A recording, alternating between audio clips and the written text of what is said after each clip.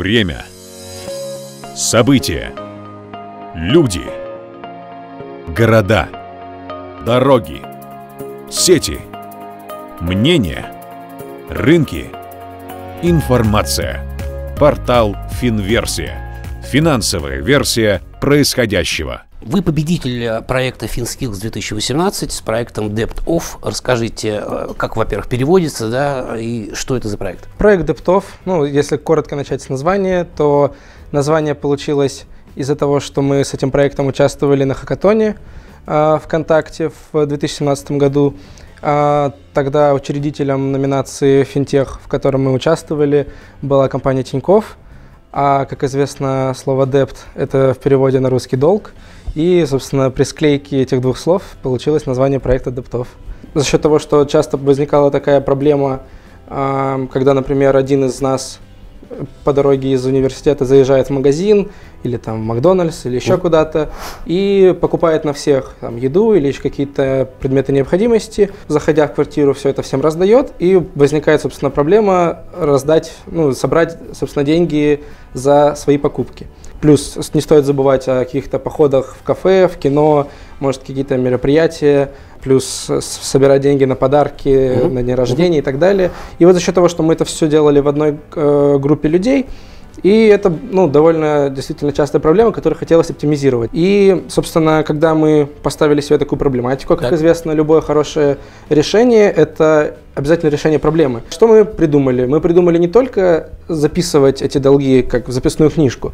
Мы изучили рынок, то есть зашли просто сначала, в, подумали, ну мы же не такие умные, по-любому есть уже э, такая идея, такие приложения, поскачивали всякие разные приложения из App Store и Google Market, посмотрели, есть какие-то сайты, сервисы, и в принципе они все работали по одному принципу, ты просто записываешь себе, чтобы там не забыть, он тебе может напомнить. Нас волновала не эта проблема, то есть на, вспомнить о том, что я кому-то что-то должен, это не проблема. Действительно, Главная проблема – это расшивка долгов, расшивка да. долгов. И вот там, собственно, возникала единственная вещь, благодаря которой мы это все продвинули, это то, что у нас у всех ребят различные карты различных банков. А перевод э, с одной карты на другую, э, особенно если это разные банки, взимается комиссия.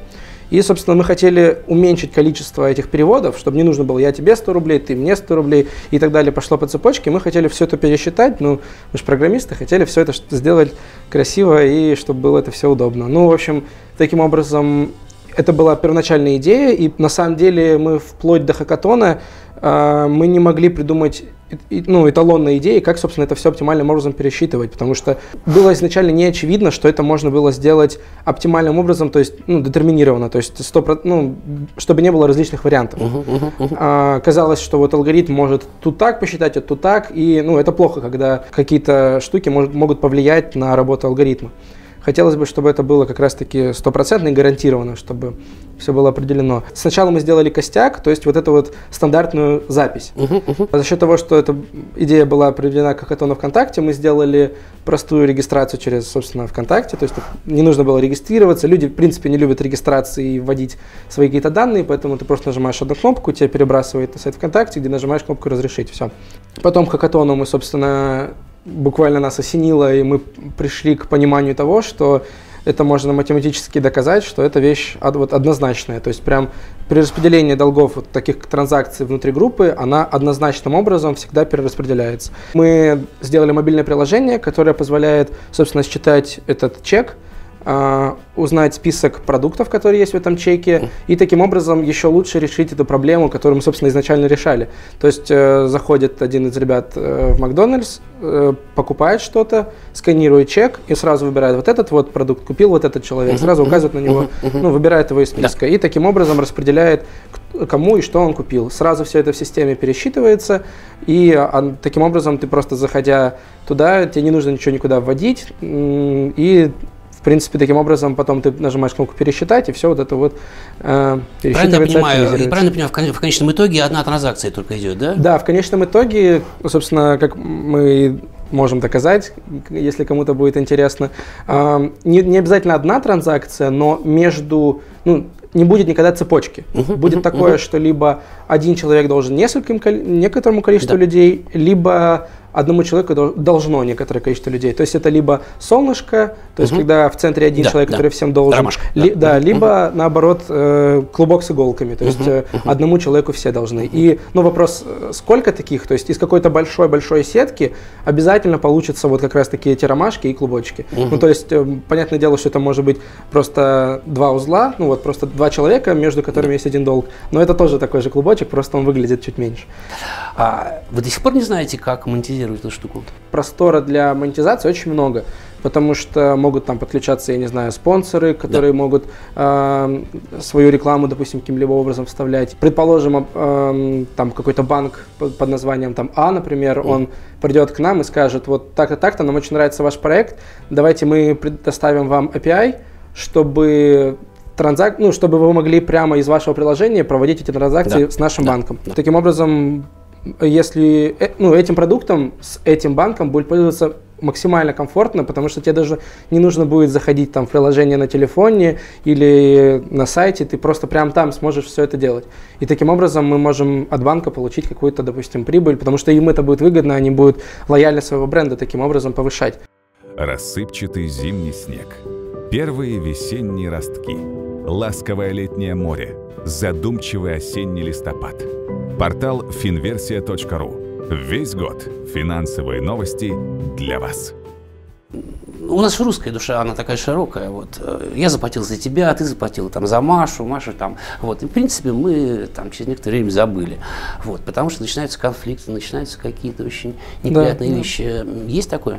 Ну, конечно, есть. Это действительно, собственно, то, почему нам нравился этот проект, что нет вот этого каких-то реально, ну, очень с точки зрения человека и с точки зрения морали очень неловко подойти. Человек сказал, типа, вот ты что-то забыл про долг, он тебе скажет, нет, нет, конечно. Да и, в принципе, не зря, ну, пословицы, как известно, ну, они просто так не появляются. И вот э, если ты хочешь потерять друга, займи да, ему денег, да. дай ему в долг.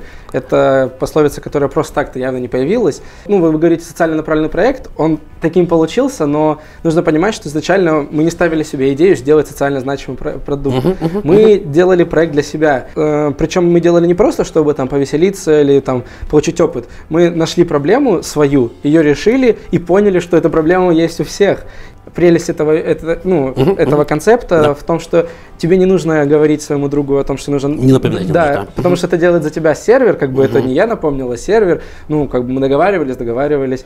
И, ну, вот эти вот э, неловкие моменты, они нивелируются действительно, и за счет этого этот э, пословец э, сходит потихоньку на нет. Еще технический момент. А когда я перевожу деньги, комиссию плачу я или комиссия делится между... Перевод полностью на ваших, э, угу. полностью на ваших плечах, угу. потому что а, опять же, за счет того, что банки очень закрытые, и у них нет доступа к... Ну, вот у нас нет доступа к банковским операциям с точки зрения программного обеспечения.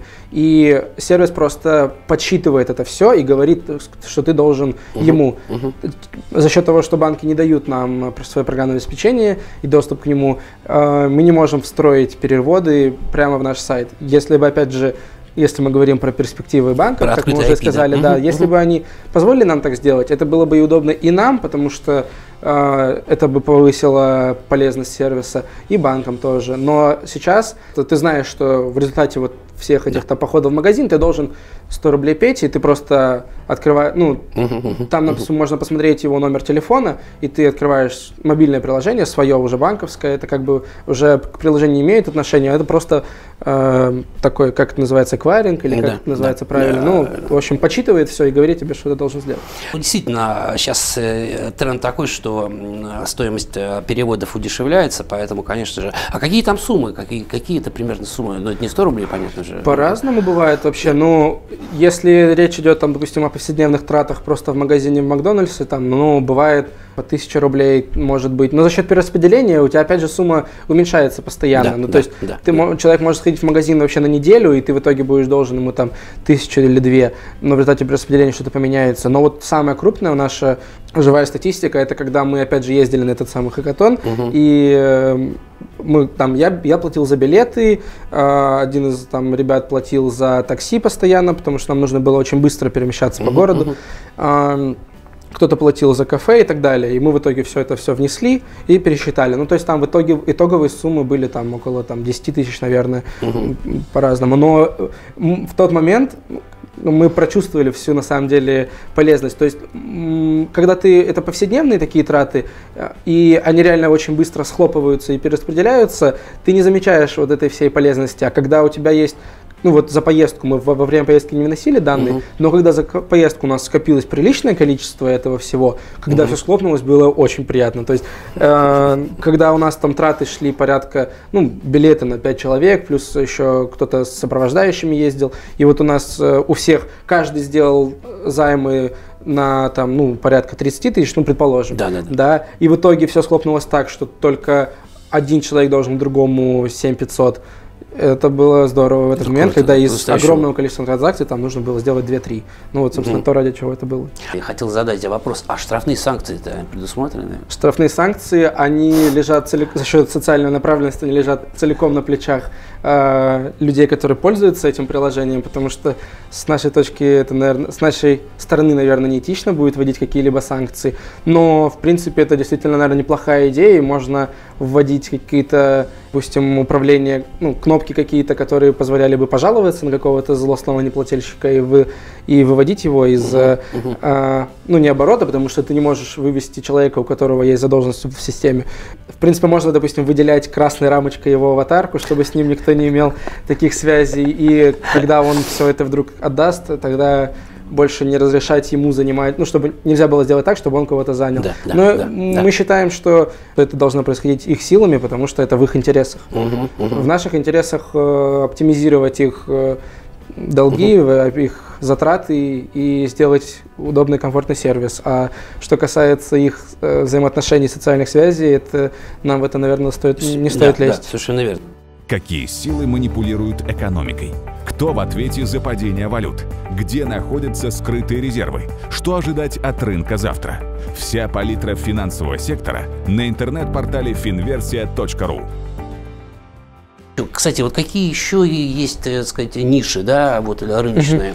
Ну, вот э, Первое, это вот, что, как я уже называл, это одногруппники, одногруппники. на там 5 лет, соответственно, соседи по общежитию, какие-то близкие друзья, которые, допустим, остались со школы. Да. Это вот что касаемо долгосрочных, скорее, ну, то есть 5 лет это, в плане этого сервиса это довольно долгосрочные э, вещи. А что касается краткосрочных, то это, опять же, поездка, она угу. может быть из разных людей, она не обязательно состоит из всех тех людей, да. которые находятся в группе.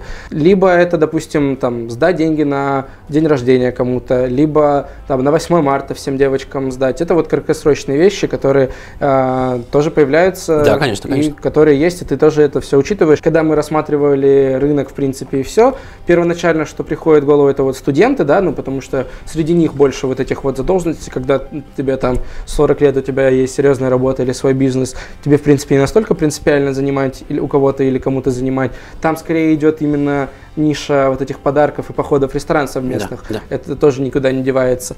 Но на самом деле нет никаких проблем в том, что перейти как-то на позицию выше и подумать, ну, вот внутри, между компаниями же тоже бывает, допустим... В холдинги, например. Да, да. какие-то холдинги или угу. какие-то объединения компаний. Угу. Там же тоже, допустим, между компаниями бывают какие-то займы налоговые, вычеты, я не знаю, все что угодно. Это э, никаких отличий между займом мне тебе, в принципе, нет, потому что между ними то, у них тоже есть сети, у них тоже есть один занимает другому. Но это не обязательно займ, это может быть, допустим, платеж, оплата за что-то. Ну, когда мы говорим займ, это значит просто какая-то финансовая услуга «я тебе». Это не, не обязательно займ денег, это может быть оплата услуги. Ну, можно подняться на какую-то параллель выше и попробовать посмотреть, а может быть, действительно это можно опробовать и на каких-то более крупных компаниях, которые а, оплачивают услуги как каким-то ну, давайте какой-нибудь самый банальный пример придумаем. Какой-то человек, который работает в шиномонтажной, uh-huh, он, uh-huh. допустим, ездит часто на такси, и он оплачивает такси.